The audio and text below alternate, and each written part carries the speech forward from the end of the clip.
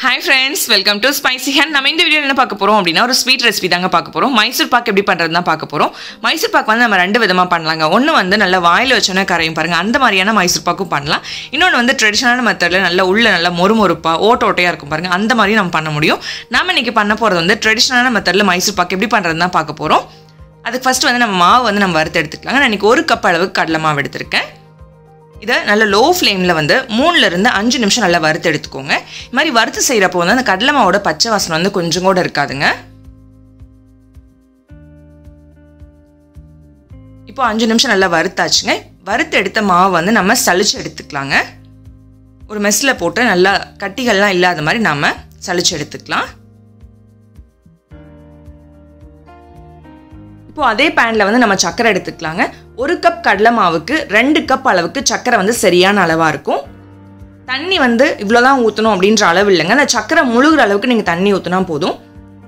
கொஞ்சம் ஜாஸ்தியாக சேர்த்துனாலும் நீங்கள் பயப்பட தேவையில்லைங்க. அந்த மைசூர் பக்கோட பதம் வரதுக்கு கொஞ்சம் லேட் ஆகும். அவ்வளோதான் இப்போ சக்கரை நல்லா கரையிட்டுங்க. இப்போ பக்கத்து ஸ்டவ்வில் வந்து நம்ம எண்ணெயும் நெய்யும் வந்து நம்ம சூடு பண்ணி எடுத்துக்கலாம். நான் பேனில் வந்து ஒன்னேகால் கப் அளவுக்கு நான் நெய் வந்து சூடு பண்ணியிருக்கேங்க. இதில் வந்து நம்ம ஒன்னேகால் கப் அளவுக்கு எண்ணெய் எடுத்துக்கலாம்.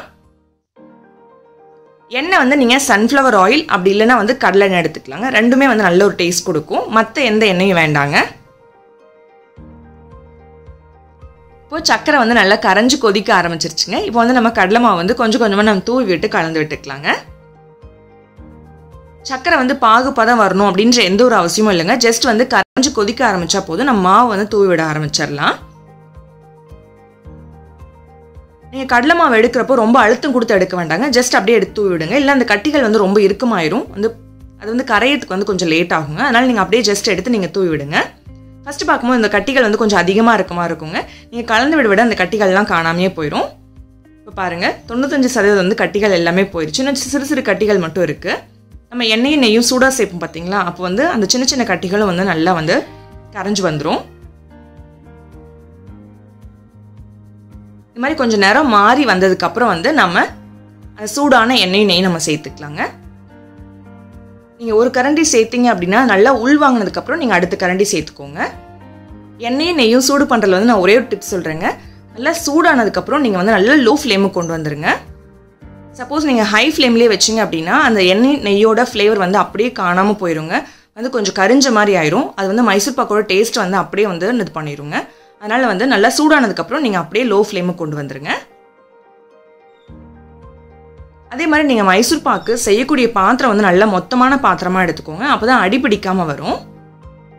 இந்த மாதிரி நம்ம எண்ணெயும் நெய்யும் சேர்க்கும் போது நல்லா பொறிஞ்சு வரணுங்க. அதுதான் வந்து சரியான பக்குவம்.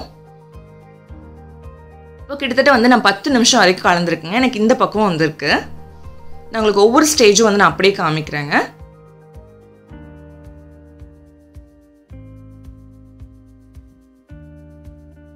நீங்கள் மைசூர் பாக்கு பண்ணும்பொழுது பார்க்க வேண்டிய ஒரே விஷயம் என்ன அப்படின்னா நீங்கள் கைவிடாமல் கிளறி விடணுங்க. இல்லை சீக்கிரமாக வந்து அடிப்பிடிச்சிரும் நீங்கள் எடுக்கக்கூடிய பாத்திரம் வந்து நல்ல மொத்தமான பாத்திரமாக எடுத்துக்கோங்க.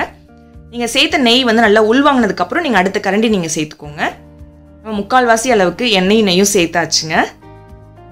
நம்மக்கிட்ட இருக்கக்கூடிய கடைசி கரண்டி நம்ம நெய்யும் இப்போ நம்ம சேர்த்துடலாம்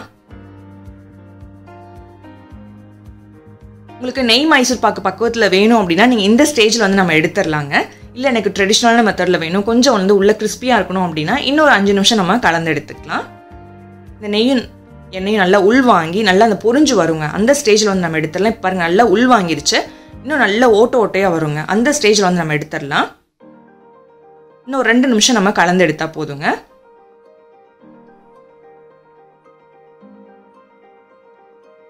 இப்போ பாருங்கள் நம்ம சேர்த்த நெய்யெல்லாம் வந்து கொஞ்சம் வந்து வெளியில் வந்து கக்க ஆரம்பிச்சிருக்கு.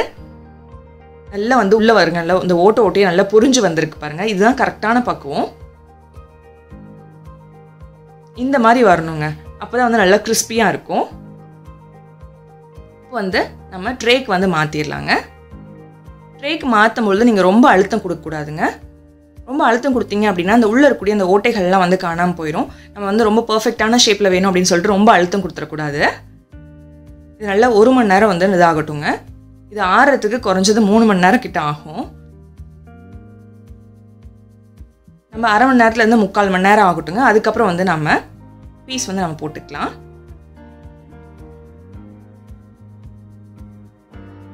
இப்போ முக்கால் மணி நேரம் கிட்ட ஆயிருக்குங்க. இப்போ வந்து நம்ம எந்த ஷேப்பில் வேணுமோ அந்த ஷேப்பில் வந்து நம்ம பீஸ் போட்டு எடுத்துடலாம்.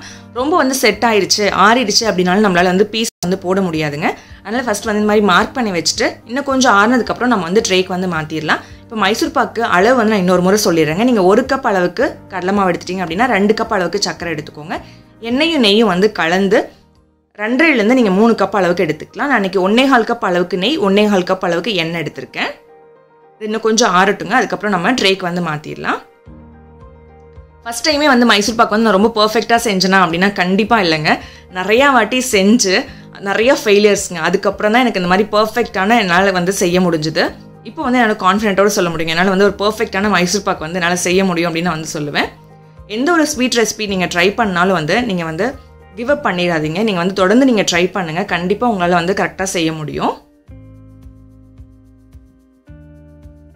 நீங்கள் மைசூர் பாக் வந்து ஃபஸ்ட் டைம் நீங்கள் ட்ரை பண்ணுறவங்களா இருந்தால் நீங்கள் கம்மியான அளவு எடுத்து செஞ்சு பாருங்கள் அதுக்கப்புறம் வந்து நீங்கள் அளவு வந்து இன்க்ரீஸ் பண்ணிக்கலாங்க. நம்மளோட ட்ரெடிஷ்னலான மைசூர் பாக்கு வந்து கிடச்சிச்சு நல்லா கீழே எல்லாம் பாருங்கள் நல்லா கலர் சேஞ்ச் ஆகி ரொம்ப ரொம்ப சூப்பராக இருக்குது உள்ளே பாருங்கள் நல்லா ஓட்ட ஓட்டியாக ரொம்ப கிறிஸ்பியாக ரொம்ப டேஸ்ட்டாக இருந்ததுங்க. நீங்கள் மைசூர் பாக்கு பண்ணும்போது கவனமாக பார்க்க வேண்டிய ஒரே விஷயம் என்ன அப்படின்னா பாத்திரம் வந்து நல்ல மொத்தமான பாத்திரமாக எடுத்துக்கோங்க. கைவிடாமல் கிளறி விடுங்க. எண்ணெயும் நெய்யும் வந்து ரொம்ப சூடு பண்ணிட வேண்டாங்க. அப்படியே வந்து ஃப்ளேவர் வந்து மாறிடும். ஒன்ஸ் வந்து சூடானதுக்கப்புறம் நீங்கள் லோ ஃப்ளேமுக்கு கொண்டு வந்துடுங்க உங்களுக்கு எல்லா ஸ்டேஜஸுமே வந்து நான் பர்ஃபெக்டாக காமிச்சிருக்கேன் அப்படின்னு நம்புறேங்க. கண்டிப்பாக இந்த மெத்தடில் நீங்கள் ட்ரை பண்ணி பாருங்கள் ட்ரை பண்ணி பார்த்துட்டு எப்படி வந்துன்னு சொல்லிட்டு உங்களோட ஃபீட்பேக்ஸ் அண்ட் கமெண்ட்ஸை மறக்காமல் கமெண்ட் செக்ஷனில் சொல்லுங்கள் தேங்க்ஸ் ஃபார் வாட்சிங் பை டேக் கேர்